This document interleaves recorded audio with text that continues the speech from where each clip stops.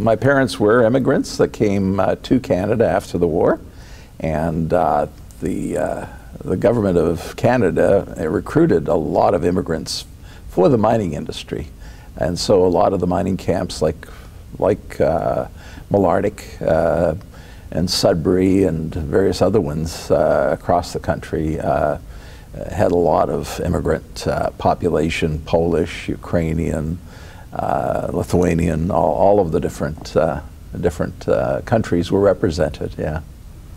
And uh, you, as a child, because you grew up right, right in the middle of it, essentially. Absolutely, I Uh, was born in Malartic, and uh, In, in mining, essentially. I was born in mining, and uh, and th- uh, in those days there was uh, um, uh, some houses that were given to the uh, given to the um, uh, the people that ran the mine. Um, my father, being a mining uh, a, mining engineer, uh, as I mentioned, he.